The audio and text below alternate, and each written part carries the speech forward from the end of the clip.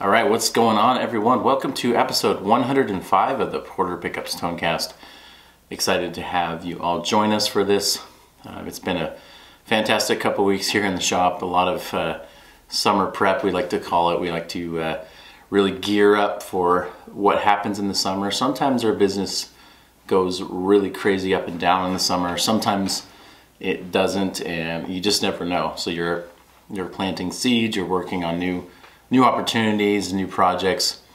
I've got a really exciting couple bits of news that uh, can't quite share yet, but uh, these these things are coming down the pipe. So those who follow us on social media, listen to our podcast or YouTube channel, wherever you find our content, we're going to be releasing a lot of stuff. And as you may hear, I'm fighting a little bit of allergy stuff today as the uh, the spring transitions into summer. Um, it's a bit of a vocal challenge uh, every year. So here we are. We're going to still keep uh, trudging on and, and, recording the Tonecast. So I want to mention our pickup chooser as we start off. Uh, going solo today. Uh, Marco is out um, as of this recording. He'll be back uh, on the next episode, I'm sure. Um, so I'm just going to go solo. And I want to talk about something that's really interesting that kind of ties into this time of year. It's sort of a, a reminder of um, taking steps and taking jumps in business. And and so I figured it was a good time for for me to kind of talk solo about that.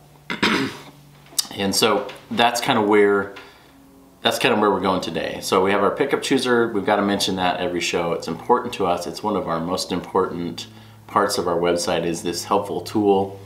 Go to our website porterpickups.com you will see the pickup chooser tab on the on the top. If you're on the home page you'll see a big pickup chooser feature. That's a, a, place you can go fill out the information on your guitar. Tell us what you like and don't like about the pickups. Tell us what gear you're playing, what sounds you're going for, and then we'll actually recommend something from our lineup. This is a really helpful tool. It's free to use. No obligations with the answers that we give you. We will not uh, send you multiple emails and texts and calls. We will just simply uh, talk to you about pickups. And I think that's important. I think a lot of people are willing to give us their phone numbers or their emails and, and we want to be sensitive with that. We don't want to uh, make it feel like spamming. Of course, we would love to sell you product, but ultimately we want to find the right solution for you and for your needs. So we had some great conversations with a few people. Uh, a couple in particular this week were really fun that that I had, and it, was just a great time to, to talk gear. Um, definitely was gassing over a few of their guitars that they had, and I think that was like the fun part of uh, of, of kind of this this process with the pickup chooser is really really uh, looking and saying, man, I like this guitar that you've got. And uh, one person asked us about particular guitar that we we've had a few of these guitars in and out of the shop, and so it was very cool to to kind of reminisce about ones that we've had, and then ones that um, they had, and kind of the similarities and how we could help them uh, based on our knowledge of that. So that was that was pretty cool. So check out the pickup chooser. We've got um, a couple other things. We, we are basically sold out of Gatekeeper pickups again. I'm hoping to develop, um, actually just just re you know restart the uh, the H90 version of a of a Gatekeeper pickup. So we're hoping to uh, have that sometime this summer. So for those looking for a humbucker size P90 in an affordable, uh, you know, should be about 99 bucks for the set on those. Uh, really excited about that. That's coming hopefully I want to say June, maybe early July. It's kind of in the works right now. We're, we're trying to figure out timing wise on that. Um, another quick shout out to our newest dealer, uh, Six String Supplies in the UK. They are the newest Porter dealer and they've got a ton of stuff in stock. If you're if you're in the UK, if you're international, they've got a lot of pickups in stock. They, they also make pre-wired kits. They make uh, all sorts of great upgrades for your guitar. They sell capacitors and they sell pots and things like that. So you can kind of overhaul your whole guitar. And if you're in the UK or if in, in Europe, um, they'd be a great place to buy from because it's there and you can avoid some of the uh, the extra taxes and, and uh, shipping, things like that. That would be a little easier access. So, so Six String Supplies, just want to give them a shout out as we continue into our main topic here. And this is one that uh, again, I mentioned in, the, in kind of the first part of the show, this is a very interesting topic for me. This time of year, um, in May into June, is always this um, what if summer kind of things. I started out way before Porter Pickups teaching guitar, and and summer was always the hey, we're gonna stop teaching or we're gonna stop taking lessons for the summer. We're gonna stop until the fall, and and it was always this over and over again. Every year was like students built up all throughout the year, and then they all dropped in the summer, or half of them dropped in the summer. So kind of got used to summer's coming and it being a little bit weird, a little bit hard. But every year it kind of just grinded on me a little bit more as we started a family, as we started uh, exploring this business um, way back when, and and it was like, man, summers are, you know, I love summers because as a kid, right, you go out and play or you you have a, a break from school, and as a business owner, I started hating summers. I started looking at summers as as an evil thing, right? Oh no, summer's coming. I've got to, uh, you know, it's almost like winter, right? You've got to store up something, and and you never know what summer is going to hit. So I'm going to talk specifically about five years ago, uh, the collective storm of things that happened, um, and and tied into a little bit of business related stuff. Where uh, this this week, um, I really thought a lot about this whole, you know, trying stuff. You know, trying if if we didn't try anything, if we didn't go for it, our business would not exist at this point. If we didn't take risk, if we didn't do that, anyone that owns a business or anyone wants to own a business or wants to, to take a hobby and make it into a business, this is something you all face. It's a it's a fear that you've got to step beyond and you got to you've got to try it because there's always that what if. What if this works? What if uh, I never try it and then I don't I can't live with myself because I never tried this thing that is a passion or something that I wanted to do. So that's kind of related to what we're talking about today with um, this jump. So about um, about five years ago, kind of into the the fall of 2016 into like the the winter early part of 2017, we were starting to develop some guitars, and and I've tried guitar building over the years, kind of dabbled in it, and created some some cool models and tried to do it as a business several different times. And so 2017 was our big like, all right, we're gonna get a shop that has room for both the pickups and guitar business, and we're gonna do both, and we're gonna launch this thing, and we're gonna go crazy, and it's gonna be awesome. Our pickup business had been steadily growing and and becoming kind of the beast that it is, and so we were thinking, man, let's add guitars, let's kind of branch into this new arm and and I had tried different variations of guitars over the years. Some of them have had been good, and some of them are not good. Um, some things you know went wrong multiple times, and some things went right. Just kind of like every every product, every business has that uh, that part to deal with. And so I, I wanted to take this jump. So we found the shop that we're currently in right now, and it was quite a bit jump. I think we tripled in size of our operation. Our old shop was um, was actually a doctor's office or a, I think they did dentures or something. It was a very, it's very segmented. There was a bunch of little rooms with sinks everywhere. And this is kind of how we operated Porter in the early days, which was, which was kind of a mess. No one could talk to each other and, and we had to, you know, to the shipping bench was actually the break room of the old place and, and it was a, it was a mess. Anyone that ever went to the old shop, um, it was, it was pretty funny when we did like the shop tours or people wanted to see the operation because it was it was very strange. Uh, we still kind of laugh at at it now because I think we had um, and I think we had seven to eight sinks in our shop, which was kind of extreme for the size that we had. So moved into this shop. There was a bunch of bays for uh, woodworking and all that. We started collecting tools. We started buying stuff. We were developing the the Croesus model, which was our first kind of pickguard swapping model that we, released in, in the 2017. So all that leading up to this thing where, where I finally kind of got the the courage or the excitement again to do guitars and I had a great team behind me helping build, build these guitars, design them, getting the process down and we had the process done. We had a bunch of marketing things going.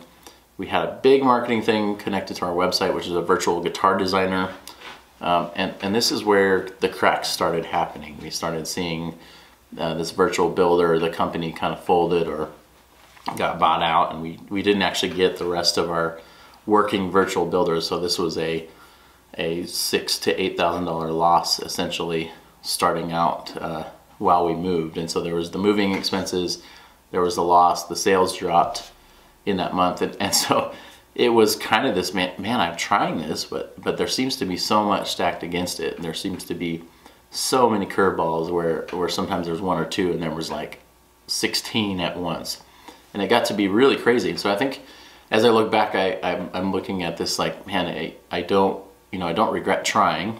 I don't consider it a failure because I know that my goal was to release good good instruments, and we did that. And we may build again, we may not. Um, that's not been decided uh, officially, uh, but we haven't uh, we haven't been sanding on guitars for quite a while, and that's something that that is totally fine. It sits it sits okay with me. But today I just want to speak to those who who have ideas, who want to try stuff. I think I think the failure part of it, or maybe the the, the disappointments or the, the what ifs or the fears, like sometimes people are not not willing to even try. And that was me, right? I, I was like, man, I don't know if I should do this. I don't know if I, you know, if I want to try this again. But the goals ended up being very simple. I wanted to just make a good sounding guitar.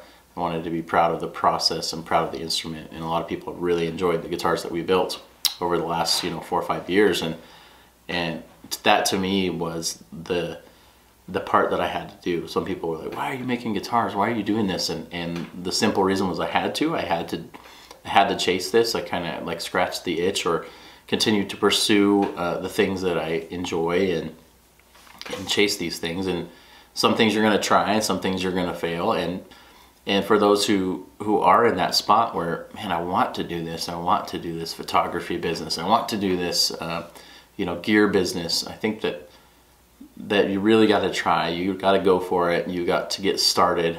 Um, it's overwhelming when you start because you have how many different things that you're trying to piece together. And man how do i even get to selling 10 of these a month? I have no clue.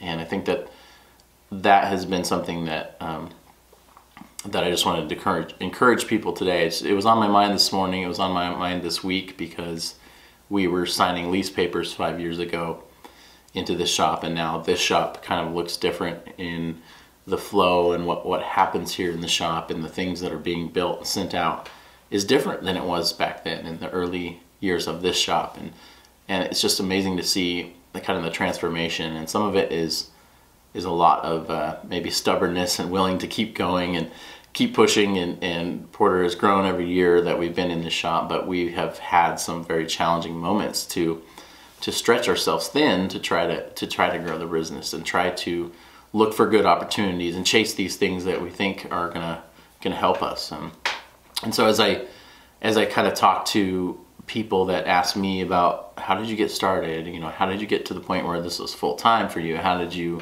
get employees and and I look back and I, I see this point of five years ago as like a pivotal point in our business and we, we had to try something and we took a huge swing. Um, it was it was definitely like a lot of personal risk, a lot of uh, uh, you know, a lot of just like hopefully this works kind of thing. Um, but but I think that's the point is that we need people that are willing to to be creative and willing to fail. And I'm, and I you know there's many of think times that I I think man I wish I would have done this and this and this differently. And sometimes you have to learn by just trying and by doing. And so I think that's kind of what I wanted to talk about today. Just turn the microphone on. This is unscripted. This is me popping into the shop first thing in the morning and and just starting the camera and just going. So I, I think that this is something that I want to be more transparent about. I want to I want to share like this this journey of our business and and not coming across as I, I know everything because I certainly don't. I'm still learning. I'm still growing. We have a lot of amazing people here that are helping us. Um, but this has been kind of this um, you know all of us have like life events right where you're like oh man that was this this many years ago I had this major life event or or whatever. It kind of just restirs everything up in your brain. And so that's kind of what's happened to me over the last uh, week or so. Thinking about this, uh, man, we took some serious risk. We took some massive financial risks. We took some, you know, reputation risks. We took all sorts of things. We put some stuff out there, and some people loved it. Some people thought it was the dumbest, dumbest designed guitars ever. Um, some people. Uh, really thought we were making a bad decision. Some people thought it was a fantastic decision. There was a lot of um, opinions from all sorts of sides of the equation, and um, it ended up being, just one of those things that like this is the decision that we're making and and you know we're we're fine with what we want to get out of this decision and we did actually reach the goal of of making great stuff and and just uh, like a lot of people really um, really loved what we did. So I, I, don't regret doing it. I think it's a fantastic uh, uh, experience. Um, it's an expensive experience regardless of of how uh, things have turned out. That's okay. Um, I'm more excited about the future of Porter and where we're going. Um, but I think that I think that I learned a lot by continuing to try and, and continuing to take that step. And, and we're in the spot now, five years later, where we're taking some jumps in some different areas. And so there's a little bit of like, okay, here we go. We're taking another big swing and and I want to be able to run a business that way that I'm that I'm willing to try and I'm willing to to push put myself out there and try new things and knowing that stuff's you know stuff never going to go perfect. There's going to be uh, bad situations. There's going to be difficult people to deal with in the process. There's going to be a lot of rewards and a lot of accomplishment from finishing tasks and from trying things and getting getting yourself out there. So for those who are in that spot, um, I'd love to chat with you about that. Um, I'd love to just offer you the encouragement here uh, for those who are listening. Uh, go for it. Uh, don't risk your complete financial future. Maybe um, some people are willing to do that. Some maybe don't have that much to risk. Like in my case, we just we kind of bootstrapped this whole thing from the beginning. Didn't borrow any money. Just try to get to the next step and kind of build this and build this and build this. And now, um, you know, now it's a full operation. So it's uh, it's been very interesting, a very a very cool process. I'm very fortunate to uh, to have good people around me. My wife's been very supportive and, and other family and encouragement uh, to do this thing that I love. And and so that's where we're at today. We're in this uh, kind of launch point of now we're going forward into a lot of uh, really exciting new territories and and continuing to provide these great guitar tools for all you who are listening. So I do appreciate you jumping on here with me and listening to this podcast. Again, a lot of really um, you know more unscripted and kind of raw stuff I want to do with this podcast. I don't want to have a strict formula. I don't want to have um, you know, it has to be this type of thing every single time. I want to be able to use this platform and use this podcast to to talk about all sorts of different stuff to, to let you guys into the world. Um, I, am very transparent about what we do here. I'm very very proud of this team and and the products that we create and and some of that is just just kind of walking through some of the daily and the yearly things that come up and I want to be able to turn the microphone on and just say, hey, this is a situation that is interesting, or hey, these are good things that are coming, and and kind of just share that journey uh, for those who may be interested. This might be really boring for some of you. Um, man, not, i just want to hear guitar content, and that's totally fine. Um, we will have plenty of guitar content. So if, if this interests you in terms of our podcast, you're welcome to jump around to the episodes that are a little bit more guitar focused, but there will be some kind of business talk, some life talk, that kind of stuff. Um, intermixed in this because this is who we are and, and we are not robots we are people and we have uh, people with real needs and real um, real feelings and real abilities and creativity here at the shop and we want to be able to feature those people and we want to be able to talk about um, all the things that we do here and kind of uh, why we do them and, and and the reason that we kind of exist as a company. So we'll be talking a lot about that. Excited for the summer. More podcast shows are coming up. We're going to try to get back to a little bit more of the weekly thing. I know we say that all the time, and, and life comes and curveballs come, so we're going to keep some content flowing. I've got a couple new videos that I will be shooting over the next week or so. One is, is a uh, PRS SE Silver Sky. We're going to mod it with our Hybrid Plus pickups, so kind of keep that on your radar. Watch our YouTube channel. If you're already watching this on YouTube, thanks for watching. Uh, keep keep an eye on some of our future videos that are coming.